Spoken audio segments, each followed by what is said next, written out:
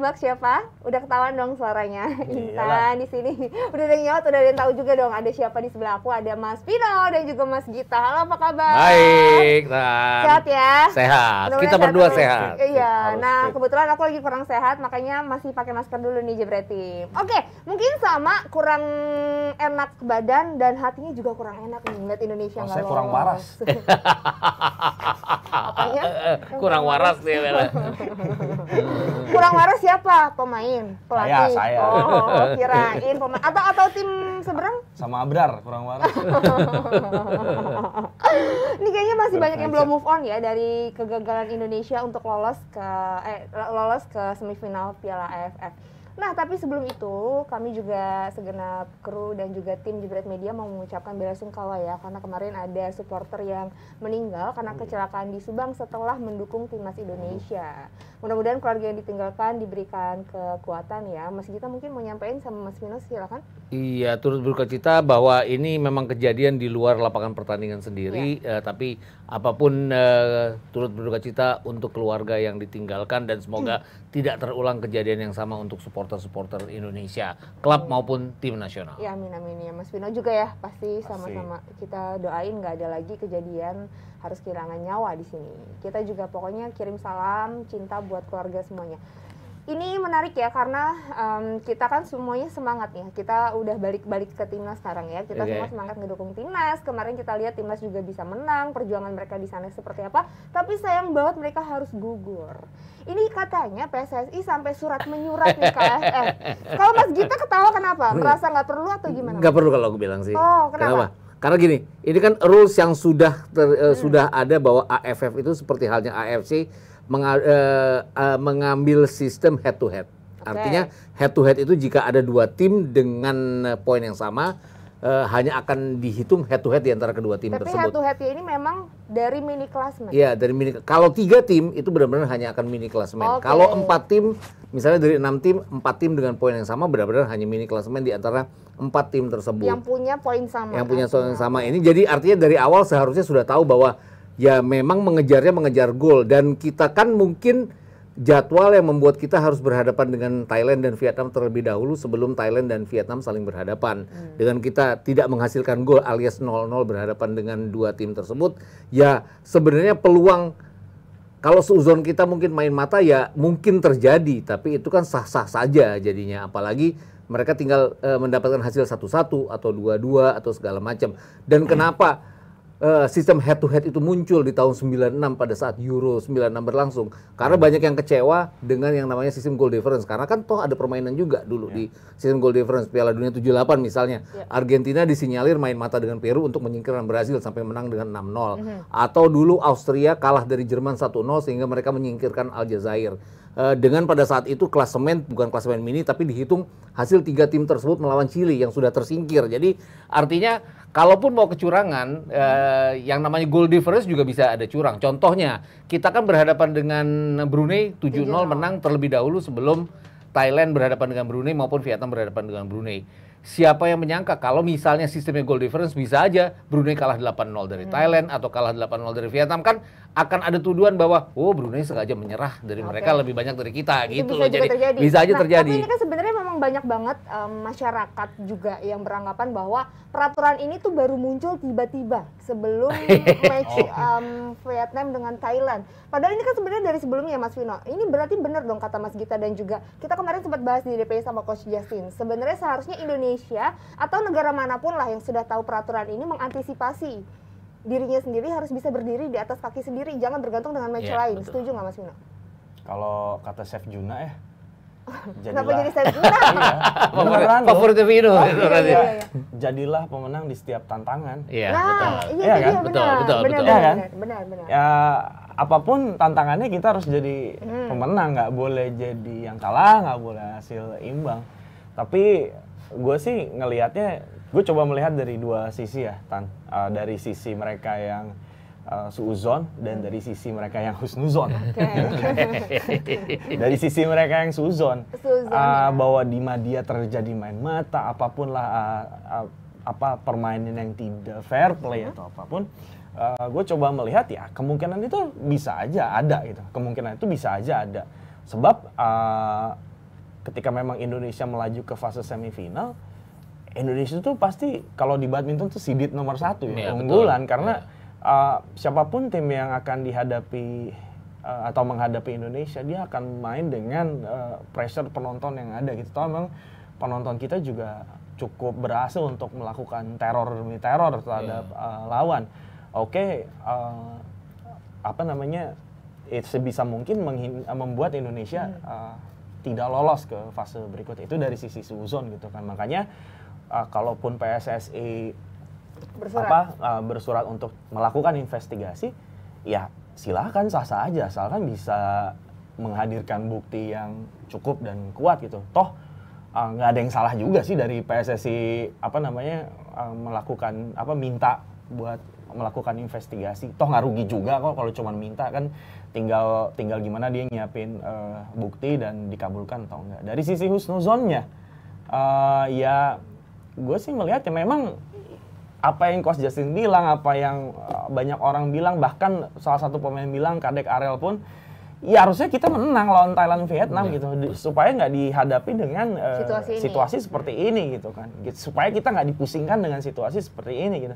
Soalnya kan ini kan situasi mirip-mirip kayak kemarin di kualifikasi Piala Asia Iya, di betul. Kuwait ya, Iya. memang kita harus ditentukan uh, sama tim lain ya terlepas memang katanya aturan ini baru ada baru ada menjelang uh, pertandingan atau enggak kalau kalau kalau menurut gue ini udah dari awal Udah dari, dari, awal sebelum MCM awal Iya, udah dari AFF dimulai kan. udah dari MCM Ini awal harus diperjelas kan. Ah, dan sebenarnya. dan peluang untuk mengarah ke situasi seperti ini kan 50-50 Hmm. mungkin ada staff yang nggak kepikiran juga akan pada akhirnya akan jadi situasi seperti ini tapi sebaiknya ya ya berpikir juga ke arah kalau memang eh, situasinya akan seperti kemarin artinya em, salah lu sendiri kenapa pas MCM kagak apa namanya Merhatiin. Menang, atau atau Oh, atau minta saat itu. pembaruan dalam uh, Kalau regulasi gitu awal kan. gitu. Ya jadi husnuzonnya memang ya ya orang kita nggak sanggup menang kok lawan uh, Thailand dan Vietnam dan uh, yang terjadi di, di media adalah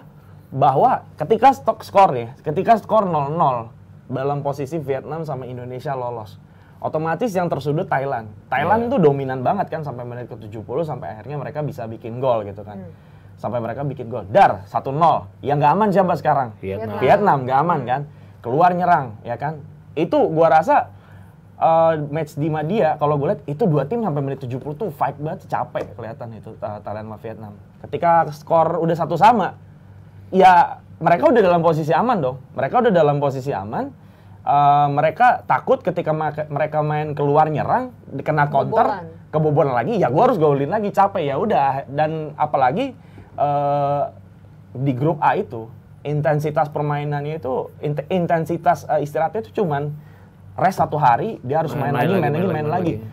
Vietnam sama Thailand ketemu di di apa di hari terakhir gitu. Vietnam sama Thailand ketemu di hari terakhir. Ya nggak bohong kalau mereka pasti capek banget itu. Banyak yang tumbang itu pun ya bisa aja beneran, ya bisa aja memang ngulur waktu gitu. Tetapi kalau dibilang gua kesel sama match Vietnam Thailand, ya gua kesel lah. Dia main cuma di belakang kayak gini di gitu kan. menit-menit akhir. Sebagai kan? 12 Eh, menit di terakhir. menit Iya sebagai kan? 12 menit sebagai fans Indonesia, gue kesel dia main cuma belakang nggak ada press dari Hmm. Thailand apa pun gitu. Tetapi kan pembelaan yang sudah diucapkan oleh pelat eh, dari pihak Thailand dan Vietnam, ya sangat beresiko sekali untuk ningkatin intensitas pertan- apa, intensitas pertandingan karena gue bisa keserangan dan kegolan, ya gue bisa nggak lolos gitu. Terus gue juga harus menghemat tenaga anak-anak gue yang interval pertandingannya cuma istirahat satu hari. Jadi artinya ini sebenarnya uh, intensitas pertandingan mereka di beberapa menit terakhir ini adalah masuk akal. Mas Gita tapi kalau Mas Gita melihat Enggak, ya gue menggiring coba berpikir Ah. dari si- dua sisi Dua ya. sisi, Suzon dan husnuzonnya gitu.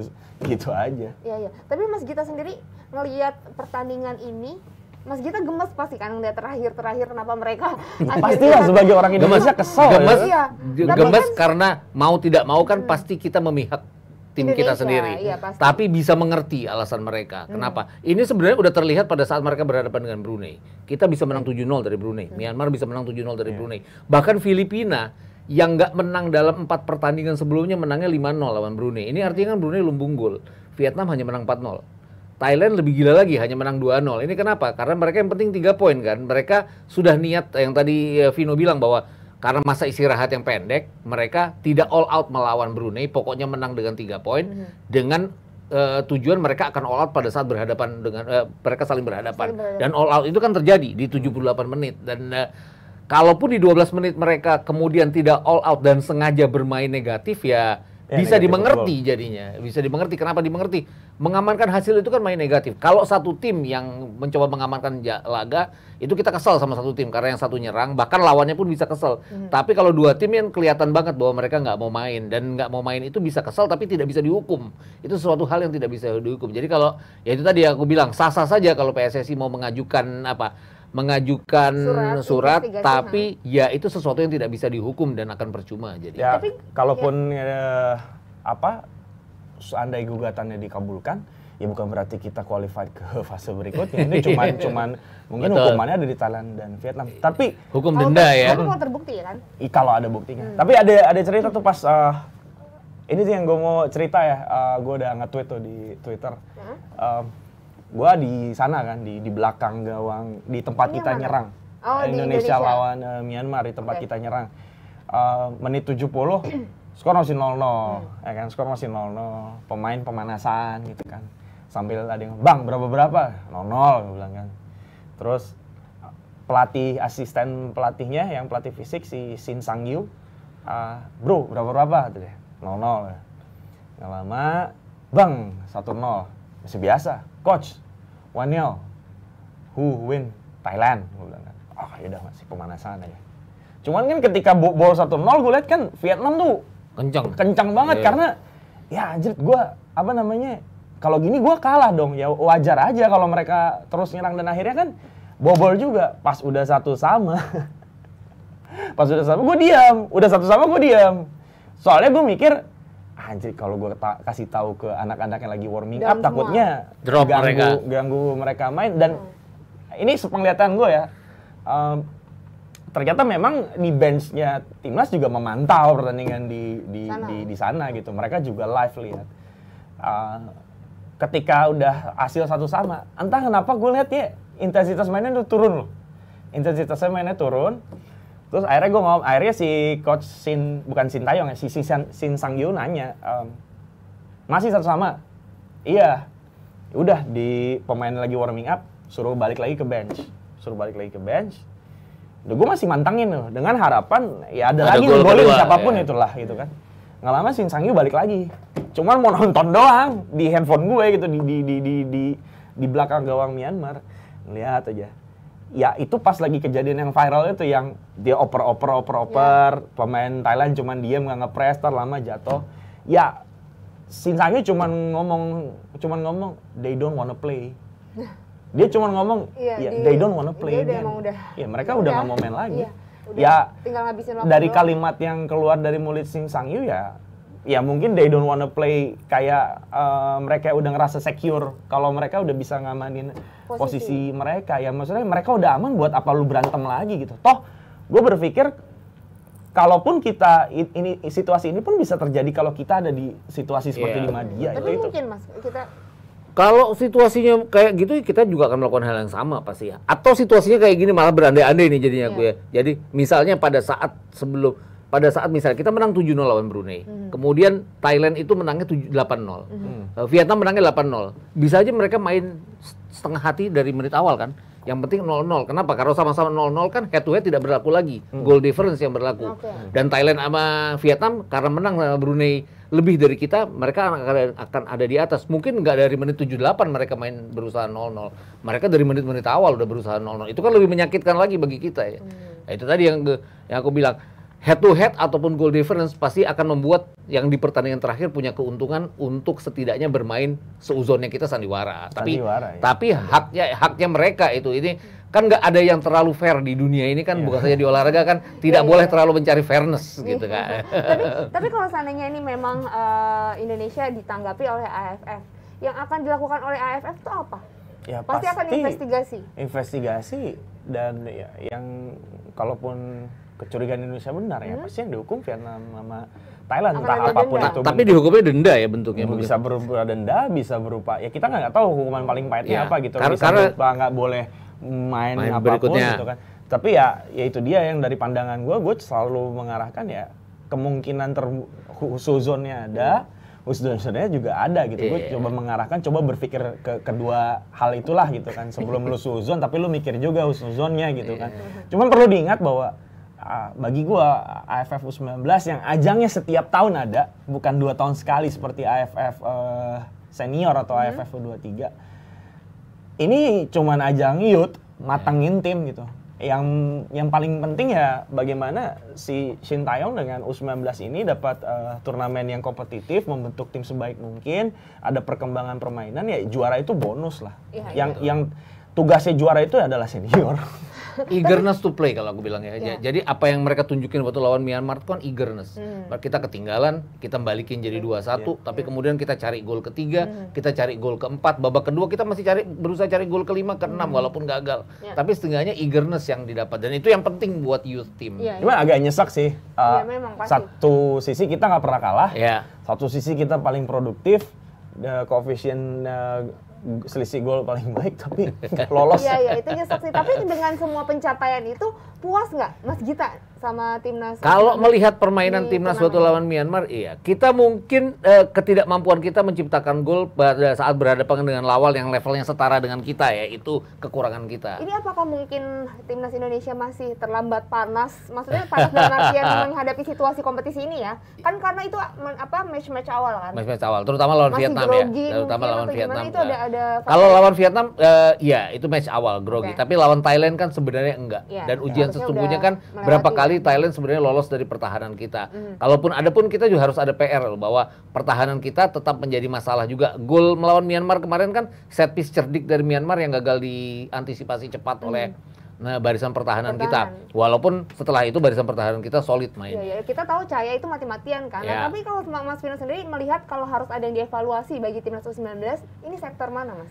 Sektor ya depan sih Iya. menurut gua karena Nggak ada striker ya? Iya, ketika Robani dan Hoki Caraka bisa nyetak quadrick dan hat trick, kenapa dia nggak bisa lakukan itu ke gawang Vietnam Thailand. dan Thailand? Betul. yang di mana memang kita ngebu kit- ya oke mereka dibutuh mereka tuh dibutuhkan di semua match bukan hanya bukan cuma dibutuhin ketika lawannya cuma Brunei atau eh, Filipina gitu. Itu sih sebenarnya yang yang yang gua harapin sih mereka tuh bisa keluar gitu ketika lawan eh, eh, Vietnam dan Thailand gitu. Walaupun ya memang di luar match Vietnam dan Thailand mereka nunjukin performa terbaik mereka tapi terbaiknya, kan kan. lu lihat lawannya uh, siapa gitu Iya, kan iya, iya. Brunei dan Myanmar. Iya. dan Kem- juga kemarin. Myanmar pun kalau lihat Hoki Caraka kan punya dua peluang yang nggak bisa dia manfaatin. Artinya Hoki Caraka tidak punya tidak cepat pada saat dia berhadapan dengan lawan yang relatif lebih cepat. Dua gol kita kan juga dari set piece ya, center Iya. back yang bikin gol itu bagus. Gol gol bagus, tapi kan itu set piece. Ya, tapi kalau melihat bagaimana ketergantungan timnas U19 dengan salah satu pemainnya, masih kelihatan nggak? Kan karena beberapa match sebelumnya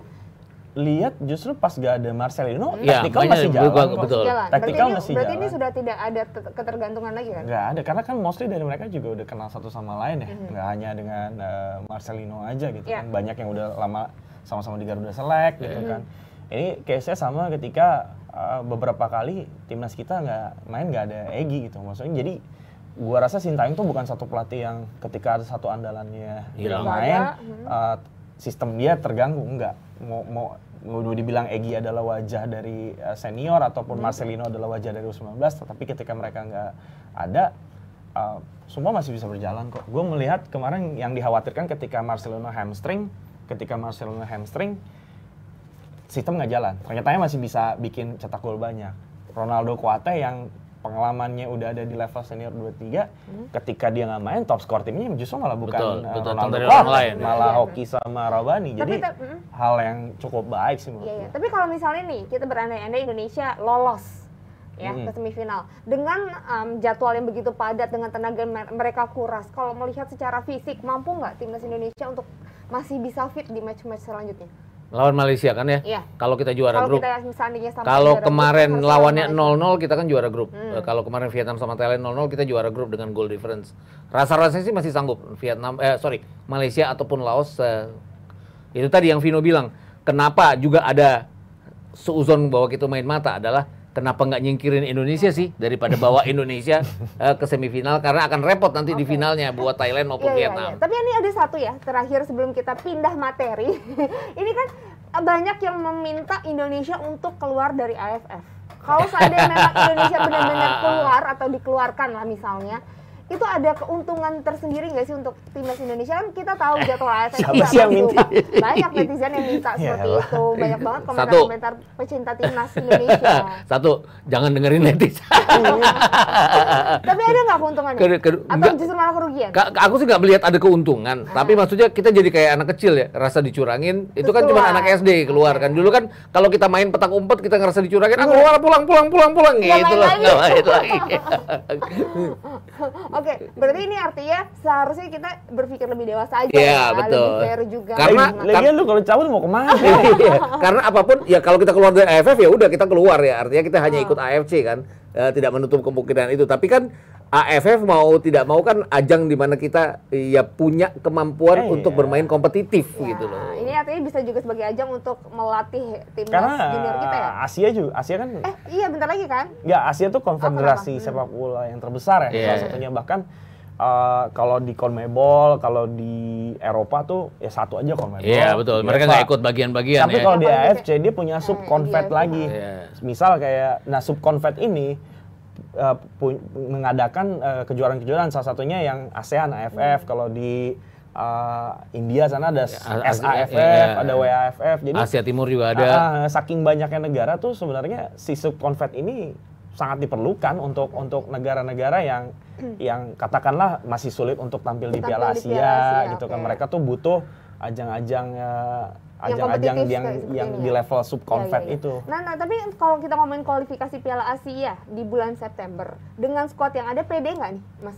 Lawannya itu kan eh, Pede, tapi itu, ya. tapi kan itu kan kualifikasi Piala Asia yang untuk Piala 19, Dunia juga ya. iya. Iya. Tapi kan kita tidak akan tidak lolos apa pun lolos kita tetap lolos sebagai tuan rumah kan. Dunia. Yes, Ar- ya. Artinya cuman maksudnya dengan squad yang ada rasa-rasanya nggak pede. dengan- Kalau kalau melihat permainan mereka kemarin di tiga per- di setidaknya di empat pertandingan lah lawan Thailand kita nggak bisa cetak gol tapi kan kita uh, bermain dengan eagerness tidak terlihat waktu lawan Vietnam tapi dalam empat pertandingan Eagerness tuh apa? Netizen nggak tahu. Gue juga nggak tahu. keinginan untuk bermain dan lepas gitu loh jadi benar haus Ah, gitu loh iya, jadi haus sih? untuk membuktikan bahwa kita bisa gitu Iya iya iya, ada ada motivasi. Iya, gitu ya, ada maksudnya motivasi kayak gitu, jadinya.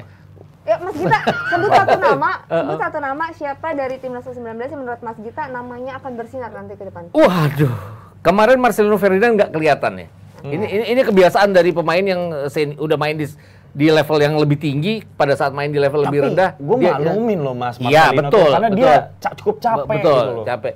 Kalau aku lihat, eh, aku masih berharap Hoki Caraka bisa suatu saat ya akan akan membuktikan bahwa dia lebih punya kecepatan, lebih punya finishing untuk bisa bermain eh, Oke. dengan baik. Mas Vino satu nama Gue sih lebih melihat eh, satu nama aja ya. siapa? Iya satu. nama.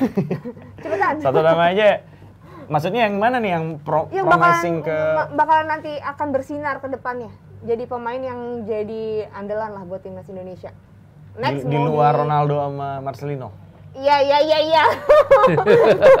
Jadi terserah mau di Ya luar, di luar itu lah. Ferrari lah. Iya Ferrari, Ferrari betul. menurut Mas Iya. Ferrari lah. Oke. Dia promising banget lah kemarin bisa jadi pemecah kebuntuan Iya. saat deadline. Vice captain juga ya. Oh iya iya oke oke oke. Ini artinya tadi ya intinya seperti Mas Vino katakan harus mengutip kata-kata Chef Juna. Apa tadi Mas aku lupa lagi.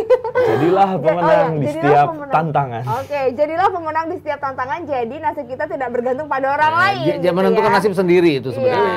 oke. Oke, itu dia tadi ya apa pun itu yang terjadi memang udah terjadi ya sudah gitu ya. Kita mudah-mudahan memperbaiki tim ke depannya dan kita juga harus tetap support timnas Indonesia. Kita tunggu ya kelanjutannya seperti apa, tapi kita jangan berlarut. Oke, kita langsung aja ke yang pasti-pasti ini ke final Piala Presiden mempertemukan antara Arema dengan Borneo FC. Nah, tapi nih aku mau tanya, sebelum semifinal eh sebelum semifinal. Sebelum kemarin eh eh benar semifinal kemarin dimulai, ini kejutan nggak akhirnya Arema dengan Borneo yang bertemu pada akhirnya karena kan sempat diunggulkan itu kan, PSIS ya. PSIS, ya. Ya. Ya. sebenarnya kalau melihat sebelumnya kan mereka pernah friendly ya sebulan yang lalu ya di mana Arema dengan PSIS. Arema. PSIS menang saat itu dengan 2-1 tapi itu kan tidak kompetitif hanya friendly. Kemudian kalau kemarin dia minus dengan Carlos Fortes jadinya terlihat bahwa mereka punya peluang tapi tidak bisa menyelesaikan sehingga mereka sulit untuk mengejar ketertinggalan 0-2 di Jatidiri untuk dibawa ke Kanjuruhan. Ya itu tadi. Kekurangannya adalah tidak adanya Carlos Fortes di pertandingan eh, semifinal ini yang membuat mereka tidak bisa mengejar ketertinggalan mereka Ya ini artinya memang PSIS Mas Vino juga melihatnya masih uh, sangat tergantung dengan Carlos Fortes. PSIS ini kan banyak banget rombak ya. Mhm. Terus asingnya tuh tiga ganti, pelatihnya ganti. betul Am, Kantilana masih ada ya Kantiana masih ada. Terus kemudian eh, beberapa ya lo- lokalan banyak yang baru masuk juga ya. Jadi ah, ya ini sekali lagi nih cuma pramusim. Tapi gue lihat sih PSIS cukup menjanjikan di di liga nanti ya. Karena kan ya ah, ini kan feel-nya feel turnamen ya, feel turnamen. Kita nggak tahu kan di level liga nanti kayak Seperti apa, apa? gitu. Ya level liga kayak apa kan nanti. Ya gue lihat sih kalau PSIS cukup cukup menjanjikan. Dengan Lepas dari ada. dari mereka gagal di eh, semifinal kemarin, ya tapi ya sekali lagi itu cuman cuman tur turnamen doang dan dan mereka main Hmm. kalah kalah di kandang pun gue rasa masih bisa excuse sih karena Hmm. ada beberapa pemain juga nggak main ya atau gimana dan ya ya, namanya pramusim pelatih mereka baru ini beda kan ya. jadi ajang mereka untuk Gimana justru kalau kalau kalau? PSIS gak kalah ya mereka nggak akan segera berbenah apa Iya, yang tidak salah ada pelajaran Iya. diambil ya. Oke oke Mas Gita tapi secara overall mengenai PSIS di Piala Presiden ini cukup menjanjikan nggak masih? di Menjanjikan, tapi kalau melihat skornya kan mereka sering kemasukan juga ya dalam jumlah gol yang banyak. Mereka belakang juga lini belakang juga jadi masalah. Tapi ya. kalau ngelihat ke depannya mereka sebenarnya pembeli- ada Taisei Marukawa, ada Carlos Fortes. Ini artinya pembelian-pembelian yang memadai untuk bersaing setidaknya untuk daya gedor mereka eh, di liga nanti ya. Tapi eh, tetap aja lini belakang tetap harus jadi perhatian karena tim kan biasanya yang baik adalah balance antara belakang dan depan. Ada kabar juga kan karena kan mereka kan habis kehilangan Jendia. Ya, habis itu- itu salah satu masalah ya. Penjaga gawang. Yang kabar terbaru yang gue dengar memang mereka lagi cari penjaga gawang juga. Lagi Oke. nyari Oh, penjaga nyari gawang. penjaga ya, nggak tahu masih rumor itu masih berkembang atau Hmm. enggak. Tapi terakhir emang gue sempat dengar PSIS tuh lagi cari penjaga gawang juga yang memang setidaknya membuat back-back tuh tenang lah gitu kan, membuat back-back tuh. Tapi kalau untuk di depan sih, wih, Hari Nur, Carlos Fortes, Marukawa. Udah oke ya. Nggak ada adu ini ya, Udah bersaingnya o- bisa o- lah itu. Oke banget. Iya iya oke tapi kalau melihat sisi Arema, Arema kemarin kan berarti eh, leg pertama dan leg kedua mampu memanfaatkan situasi. Kemarin kita juga lihat gimana mereka bermain cukup solid ya. Ini Arema FC juga menjadi salah satu kandidat yang cukup menyeramkan di liga kah, Mas Gita? Iya, seperti mereka menyeramkan musim lalu, tapi harus tetap dilihat konsistensi mereka. Karena kalau kalau dilihat kan di awal mereka agak kerepotan, tapi setelah minggu keempat kan mereka sampai berapa minggu nggak terkalahkan ya, sampai eh, masuk ke putaran kedua tuh nggak terkalahkan, tapi kemudian mereka berantakan. Ya, ya itu tuh konsistensi konsens konsistensi yang tetap harus menjadi eh, PR dari mereka. Tapi mereka kan kedatangan banyak pe- pemain. eh, Iya. Artinya Evan Dimas pasti ingin membuktikan bahwa dia bisa menjadi juara juga dan eh, ini penting bagi Arema. Dan eh, kalau kita lihat kan mereka bangkit dari awal di mana mereka kalah mengejutkan dari PSM kan eh, di kandang sendiri, tapi kemudian mereka bangkit untuk bisa lolos ke final. Iya, iya. Ini ini kita lihat ya tadi adalah rekor Arema di Piala Presiden musim ini. Nah, Mas Vino, Mas Vino melihat pemain-pemain Arema kan akhirnya ada Evan Dimas juga di sana. Ini sektor mana yang menurut Mas Vino masih perlu perbaikan nanti di final ataupun nanti di Liga 1? Ya di depan tetap walaupun dia ya? datang datang striker asing baru kan si Hmm. Abel Kamara kan. Tapi in case waktu itu pernah ya musim karena Arema tuh gini, Arema itu banyak kedatangan pemain baru tetapi kehilangan pemainnya juga dikit. Jadi mereka tuh mempertebal skuad ya. Mereka tuh cuma nilang Fortes yang penting ya. Mereka tuh cuma nilang Fortes sama Hanif Syabandi, Syabandi, ya. yang cabut itu kan. Cuma cuma dua aja gitu. Tapi kan yang datang Zola, Evan, itu udah udah udah cukup untuk nambal pemain nih yang pergi. depan, Justru ya. mereka malah tebel skuadnya. Nah, problemnya adalah ketika memang kayak tahun lalu ada satu waktu Carlos Fortes nggak absen ataupun nggak berkutik ya udah keran golnya eh, tutup aja situ karena eh, hal ini juga takut ditakutkan terjadi eh, di Arema sekarang yang penyerangnya si Abel Kamara itu yang di dari apa ya dari dari Afrika itu kan dari Liga Portugal. Nah, ketika Abel Kamara harus absen, yang dikhawatirkan adalah uh, Arema nggak punya apa ya solusi gol alternatif selain uh, Abel Kamara. Berarti sampai saat ini belum terlihat juga ya? Sampai saat ini gue melihat udah agak sedikit perbaik, ada perbaikan hmm. dan kekhawatiran itu sedikit lebih terjawab. Tapi nggak tahu ya di liga nanti ya. Adanya dari second line pemain seperti Zola, terus baliknya lagi ada Malis itu kan didatangkannya mereka itu sebagai antisipasi ketika memang si penyerang utama mereka itu mandek. Hal yang mereka nggak miliki mandek tahun ataupun ataupun uh, misalnya cedera ya Mas hal yang mereka nggak miliki musim ya, lalu. Kalau kalau aku bilang itu tadi mereka benar-benar uh, harus ada yang diperbaiki dari lini ke lini tapi secara kes, ke, keseluruhan mereka sudah solid untuk mengarungi liga ya. Artinya ini salah satu kandidat untuk bisa menjadi ya. tim papan atas di liga. Karena Arema tahun musim lalu tuh bertahannya bagus tapi produktivitas ya. nggak begitu Kurang. baik. Mereka juga punya penjaga gawang uh, yang uh, bisa dibilang salah satu yang terbaik yang ada di liga dan nggak yes. nggak hilang dari musim lalu. Hmm, betul betul. Ini artinya berarti lini depan harus diperbaiki untuk bisa mengarungi nanti Liga 1 karena kan nanti kompetisi sesungguhnya di Liga 1 ya, ya walaupun betul. ini juga penting sih nanti ya. di iya. final. Nah nanti ini berarti Kamis Kamis ya final ya? ya? Kamis yang, yang akan main di Kanjuruhan dulu. Kanjuruhan dulu. Oke ini adalah ulangan 2017. 17, Tapi betul. dengan kondisi squad yang lebih baik ya? Ya dua-duanya ya. Iya, dua-duanya dengan squad yang lebih baik maksudnya. Dan pelatih Arema waktu itu adalah Milo. Iya, betul. kan di Borneo. Borneo. Oh, ya. seru dong ya. Iya. Jadi Milo udah ngerasain yang namanya. Iya, udah pernah ngerasain final di Piala Presiden. Eh, Milo tuh presiden apa Bayangkara ya? Tapi eh, Milo tuh cukup sukses iya, juga sama iya, Arema. Iya, iya, Nah, tapi dari sisi Borneo ya, ternyata tim ini tuh bener-bener uh, manfaatnya Piala Presiden jadi ajang pemanasan ya. Kita lihat Pato dengan Lili Pali menjadi duet maut di sana. Sebenarnya yang harus dipuji adalah kengototan Borneo untuk kan mereka yang pertama kali protes ya. Kenapa sih Piala Presiden harus oh, di Jawa semua kan? Ada harus ada satu dong di luar Jawa karena penonton di luar Jawa butuh tontonan juga ya. dan mereka yang ditunjuk jadi satu-satunya tuan rumah di luar Jawa. Ya. Dan ini terbukti ya di Samarinda mereka dan mereka total sudah bermain berapa? Tujuh kali, enam kali menang, satu kali imbang, ya. dan tanpa adu penalti satu pun. Oh itu dia, tujuh menang, yeah. enam, enam menang, satu, satu imbang, empat belas masukan, hanya dua kebobolan dan tanpa adu penalti sekalipun. Ya, ya. Dan ini Pato juga jadi top scorer kan? Iya, Pato dengan 6 gol, Lili Pali bahkan dengan 4 gol. Lili ya, Pali kan kemarin dipanggil ke tim nasional untuk kualifikasi Piala Asia. Kemudian oh, ini dia nih. Ya, seperti ingin membuktikan ya bahwa dia belum habis pindah dari Bali United mungkin cita-citanya adalah jadi juara liga tiga kali berturut-turut. Ah. jadi terbukti bahwa setidaknya di sini dia terbukti empat gol dia ciptakan top scorer ketiga sementara. Ya, ya, Mas Fina melihat squad Borneo FC yang sampai saat ini bisa menuju ke final. Ini artinya mereka bisa ya. memanfaatkan bagaimana kesulitan yang ada juga di kompetisi ini. Ya, sebenarnya Borneo nggak beda jauh sama apa ya? Nggak beda jauh sama PSIS Arema dalam artian nggak beda jauh sama PSIS mereka ganti pelatih tapi pemainnya gak beda jauh sama Arema yeah. karena yang keluar Nambah dikit ya? justru nambahnya banyak asing juga cuman ganti satu si Mateus Pato. Gue gue tahu bener Mateus Pato ini udah di scout dari lama sama. dari jauh-jauh hari sejak uh, sejak Borneo main di seri Jogja waktu itu. Kebetulan gue tahu waktu itu.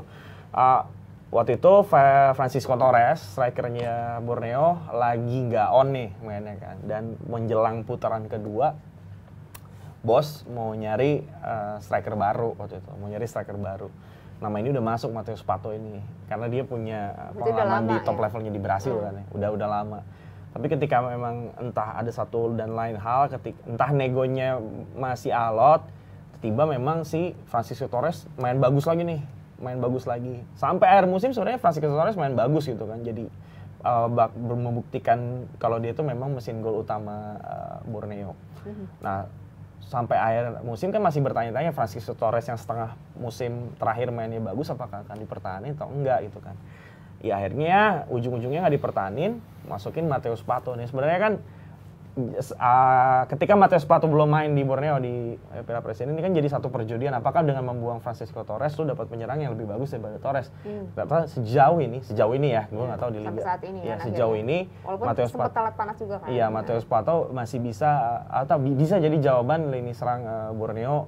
Uh, dia bisa menjawab kalau dia memang lebih bagus daripada uh, siapa Francisco Torres, Torres. dengan uh, Stefano Lillipali yang juga baru datang dari timnas tiba-tiba harus main lagi hmm. uh, dengan Borneo dia bisa cukup ngeblend dengan dengan baik di, di di Borneo karena memang ya itu sekali lagi yang pemain penting ini kan cuma dua nih yang baru masuk uh, si siapa Lillipali sama Pato kan. sisanya adalah pemain yang udah main udah cukup lama, lama gitu kayak Javlon kayak Heroes dari tahun lalu Hendro Siswanto Terence artinya memang Milo ini Milo ini tinggal apa ya? Tinggal memperbaiki sedikit aja lah. Apalagi Milo juga pelatih yang punya mental juara ya. Dia berapa kali juga, juga juara di uh, apa di kompetisi yang sifatnya turnamen. Mhm. Gue sih ngelihat peluang Borneo cukup besar loh di di untuk juara ya daripada Arema menurut oh, gue. Menurut Oke. gue gitu. Karena dengan squad yang ada, pelatih yang ada dan juga Uh, cara mereka Iya, squad bermain ada, pelatih yang ada gitu kan. Uh, Pato ya squad mas- squad maksudnya Lili, Pat- Lili Iya. Pali dan Pato. Pato, hmm. Uh, pelatih uh, Milo dan leg terakhir yang main di Samarinda menurut gue itu adalah faktor X yang bisa bikin uh, Borneo uh, juara. Di Samarinda nantinya Iya. ya. Oke, karena emang pasti vibes-nya juga merasa pingin mengangkat Iya, piala di kandangnya iya, iya. sendiri kan. Iya, betul. Nah Mas Gita, tapi ini kan mungkin challenge-nya bagi Borneo adalah bagaimana mempertahankan kedua pemain penting ini bisa tampil konsisten di liga. Karena kan memang adalah beberapa tim juga dan juga beberapa pemain bagus di Pramusim. Pramusim. di, di kompetisi. Sering banget, sering banget. Oh. Persija itu. Persija itu. Tapi kan pernah ada kasus kayak Marco Simic. Bagus jadi juara di Piala Presiden, juara juga di Liga di 2018. Ah. Ya mungkin aja Matius Pato mewakili itu. Kemudian tadi balik lagi eh, bahasa Inggris yang ditanya sama Vino tadi eagerness artinya kehausan akan kehausan Lili Pali untuk kembali meraih gelar tuh kalau aku lihat tinggi sekali apalagi Iya. setelah dia dipanggil timnas dia kayaknya ngotot banget untuk bisa membuktikan Mm. dan mungkin aja dengan dia pindah klub mengatasi kebosanan di klubnya terlebih yang sebelumnya dia bisa berbuat sesuatu di sini karena kalau kita bicara liga-liga yang kemarin kan Borneo termasuk yang konsisten ya walaupun nggak juara Iya. tapi kan mereka ada di, ja- di jajaran enam besar selalu. Hmm. Tapi kalau ngelihat dari kedua tim yang masuk final ini, apakah ini kriteria tim yang emang bermain paling cepat ngeblend secara tim? paling apa ya kalau aku bilang Borneo menganggap bahwa ini piala mereka ingin membuktikan bahwa mereka nggak asal ngomong bahwa pengen pengen apa ya pengen dapat tempat untuk jadi tuan rumah mereka buktikan dengan prestasi juga ini kalau aku bilang Oke, ini Gua lebih- gua memuji Borneo uh, gua memuji Borneo karena sejauh ini Borneo adalah sebanyak kan kita kita dicap kayak Liga Jawa Liga Jawa gitu. Tapi gua memuji Borneo ini adalah salah satu tim di luar Pulau Jawa yang Berani yang pack- apa ya, secara looks tampilannya memang dia uh, berani lah untuk bersaing sama tim-tim Hmm. yang Ada di Jawa, emang ya. udah di punya brand atau punya cap tim-tim Jawa yang besar. besar gitu. Dan Borneo bisa lakukan itu gitu kan. Oke. Dibanding mohon maaf gitu dibanding eh, Persipura yang udah degradasi ataupun PSM nih yang kemarin hampir degradasi. Dan gue lihat Borneo nih emang apa ya untuk ukuran tim dari Pulau Jawa ini cukup paling terbaik lah menurut gue di- untuk sekarang ini. Ya dan kemampuan mereka untuk ngeblend secara tim yang ya walaupun mereka sebenarnya susah juga ya Arema dan Eh juga sorry, koreksi Jawa Bali. sorry, koreksi Jawa Bali. gue malah kayak gitu koreksi itu Iya, ya, tadi, tadi aku sebenarnya sempat mau ngomong cuma takut dia ntar salah. koreksi Jawa Bali maksudnya. tapi, ta- tapi kalau ngelihatnya gini bahwa Borneo kan terlepas apa pun di dengan keterbatasan eh, squad mereka mereka bisa merepotkan tim-tim besar di Liga 1 mi- musim lalu, Musim lalu, dan ya. dua musim lalu ini ya, ya artinya ini sebuah tim yang Selalu layak diperhitungkan ya. nantinya Ya. nggak nggak menyebut bahwa mereka akan jadi juara liga ya tapi peluang juara pre- Piala Presiden ya itu tadi lebih besar sedikit dibandingkan dengan Arema Oke, tapi walaupun ya ini tuh bisa dibilang adalah turnamen pramusim aja ya. Kalau melihat Arema dan juga Borneo, ini bisa menjadi tim yang masuk ke lima besar nggak di liga mendatang? Pasti. Iya. Jelas. Pasti. Ya, Pasti, salah satu jelas, kandidat yang masuk kandidat. dua-duanya dua-duanya oh, ya dua-duanya dua-duanya salah Iya, satu dua-duanya kandidat. bisa. Iya. Oh berarti sisa tiga lagi siapa? tiga lagi tiga lagi tuh apa ya harus nyebut Persib nih kayaknya harus menyebut ti- tiga tim dengan, dengan apa dengan pengeluaran terbesar ya saat Oh, siapa? ini ya ada. Persib ada Persija dan ada Bali United Persib, Persija, Bali United. tapi Arema, ja- dan nggak juga menutup kemungkinan bahwa Aji Santoso kembali bisa membawa eh, mengejutkan buat Oke, Persebaya ya. Iya, walaupun eh, ya balik lagi dia balik dari awal dengan kehilangan Taisi Marukawa, Ricky Kambuaya, Rahmat Irianto dan lain-lain. Mas Gita tadi kayaknya waktu itu ya emang emang biasa sih. Kadang-kadang di awal tuh yakin tapi lama-lama tuh kalau udah lama udah tahu tahu nggak yakin. Kok nggak ada nama PSIS mas? Ada juga tapi nggak Tim yakin bahwa mereka Oh, mereka oke. abis nanya top top 5 ya bingung. Iya. kan. kecuali lu ah, apakah uh, Masa Borneo 10? sama Banyak dong. Borneo sama Arema top 2 top 3 itu ga- jelas jawabannya mungkin iya mungkin enggak juga maksudnya salah satu lah gitu tapi kalau Intan nanyanya top 5 iya su- eh, banyak pasti Emang pilihannya top 3, top 3 mungkin nggak? top 3 gue masih unggulin eh Persib Bandung Bali United nggak gitu Iya, sekarang nggak. karena sejak di AFC ini kan kan Teko udah gimana gitu kan. Ya Udah bosan juara mulu. Arema, Arema Oke. sama Sija. Oh, berarti Arema masuk ya. Kalau Mas Gita top 3? itu tadi nggak belum melihat Oh, Persija dengan lima belum melihat Persija dengan tiga pemain barunya. Tapi Jadi kalau kalau melihat high profile mereka harusnya bisa ya. Karena nanti main kalau nggak salah. iya tapi Iya, kan iya. di uji coba belum dimainkan Iya, tiga-tiganya. Tapi nanti mau main kan lawan Iya. siapa sih lupa aku. Yang pertandingan Hari- pertama. Enggak, hari Sabtu ini. Oh iya iya iya, tapi uji, uji coba mereka ya. Tapi Oke, tapi itu tadi eh, rasa-rasanya dengan squad yang itu mereka akan dengan squad tiga pemain ini ditambah dengan pemain-pemain yang lama ya mereka akan bisa bicara sesuatu karena pasti juga mereka ingin membuktikan ya bahwa mereka flop musim lalu bisa bicara banyak musim ini. Kalau Jebret Team, menurut Jebret Team siapa nih? Tim di Liga 1 nanti nextnya yang bakalan masuk ke tiga besar. Silahkan komen di bawah. Dan tadi Mas Vino udah jawab kalau juara Piala Presiden kemungkinan besar adalah Borneo. Kalau Mas Gita, Gua Sama. lebih mengunggulkan sedikit Borneo. Sejauh nggak masuk ke adu penalti di leg kedua nanti Borneo. Borneo juga. Dan Jebret kalau udah dua leg itu kan adu penalti ya bisa diminimalisasi lah ya. Ya, ya, ya. Yakinnya adalah Borneo asal mereka tidak ketinggalan lebih dari satu gol di Kanjuruhan. Oke. Dan Borneo juga Hmm. membuktikan diri ya kalau kalau kalau mereka tuh nggak nggak dicap jago kandang. Karena ada kekhawatiran sebelum mereka away ke Sleman, ini tim jago kandang. Ternyata Iya. di Sleman malah mainnya ya. buset. mati-matian gacor. Itulah. Dan mereka semifinal tanpa kemasukan ya, clean sheet Iya dua-duanya. benar. Ya itu dia. Keren ya. Ya. Ya itu pendapat dari dua pandit kita. Buat Jebret Team gimana kalau untuk urusan Piala Presiden siapa yang juara? Nanti kita bakalan lihat kemungkinannya di hari Kamis ya. Kita bahas lagi. Mas Gita makasih banyak. Sama-sama, Mas. Vino makasih banyak. Jebret Team Sama-sama. makasih. Kenapa gitu ekspresinya sih? Jebret Team makasih banyak udah nonton. Sampai ketemu lagi hari Kamis. Dadah.